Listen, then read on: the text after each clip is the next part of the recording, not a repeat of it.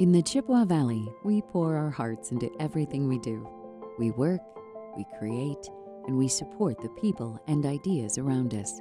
At Volume 1 and the local store, we take pride in our locally designed and handmade goods, created by makers throughout Wisconsin and from right here at home.